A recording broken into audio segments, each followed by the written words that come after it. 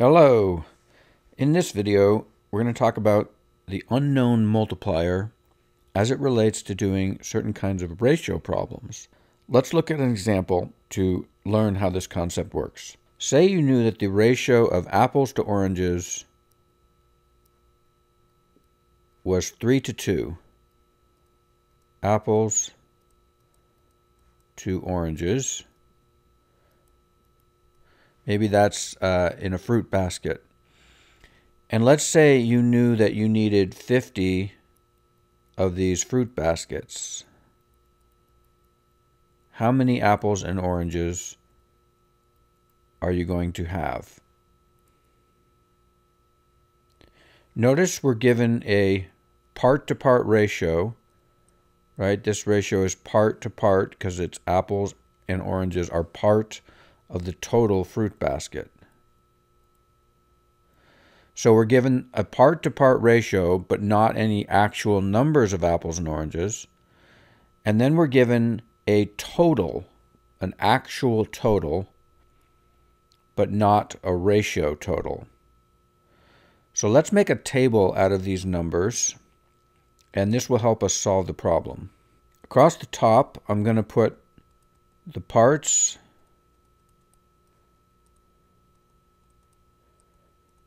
and then I'm going to put the total at the end. Those are going to be the columns. The first row is going to be the ratio, and then the final row is going to be actual. So we know that we have a ratio of three apples to two oranges, and we know the actual total is 50 fruit baskets. So here's the thing. To get the ratio total, it's quite simple. All we have to do is add up the two these two ratios, the part ratios. 3 plus 2 is 5. Now here's where the unknown multiplier comes in. The unknown multiplier multiplies every ratio to get the actual, and it has to be the same. In other words, we could think of it as being scaled up. What did I have to multiply the 5 by times what to get 50? What did I have to multiply the ratio by to get the actual? Well, the answer is 10. 10 is the unknown multiplier, but we just found it out. Now that has to be the multiplier for all of these. So 2 gets multiplied by 10. We must have had 20 oranges. And 3 gets multiplied by 10, giving us 30 apples. So we have the actual numbers of apples and oranges. So this table is very helpful. Do a, a column for the parts and the total, and then do a row for the ratio and the actual, and use a common or same multiplier to scale up all the ratios. All right, let's look at another example. Let's say in a particular store there were five casual shirts for every two formal shirts. So that's a ratio of 5 to 2.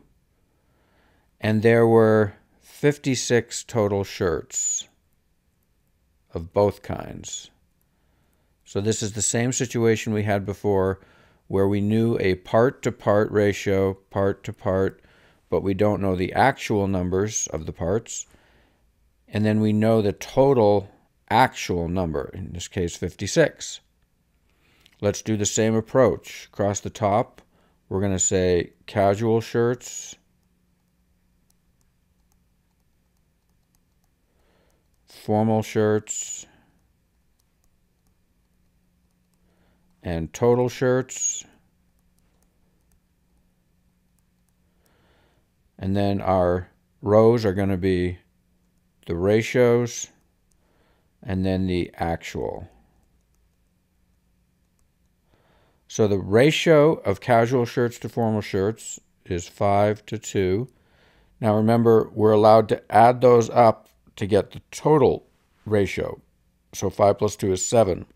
So the part to whole ratio of casual shirts to total shirts would be 5 to 7, and the part to whole for formal would be 2 to 7. All right, now the actuals, we only know the total, which is 56. Okay, and then we try to get the unknown multiplier. We can see it's going to be 8. This is being multiplied by 8. That means everything is multiplied by 8. 2 times 8 is 16. 5 times 8 is 40. So we must have had 40 casual shirts and 16 formal shirts. Now, this multiplier doesn't always have to be an integer. It could be any number like 1.2 or 3 sevenths. Let's look at an example where that would be the case. Let's say a recipe called for 3 parts lemon juice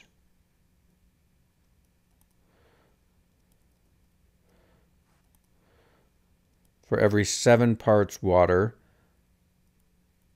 to make lemonade. And let's say a restaurant was making a big batch of lemonade. They were making 45 liters. Okay, let's do it the same way. We have lemon juice, water, and total. We have a ratio row and an actual row. We know the ratio of lemon juice to water is 3 to 7. We can add those up to get the total 10. So that's the whole or total ratio. We know the actual total is 45 liters. Now we need to know the unknown multiplier.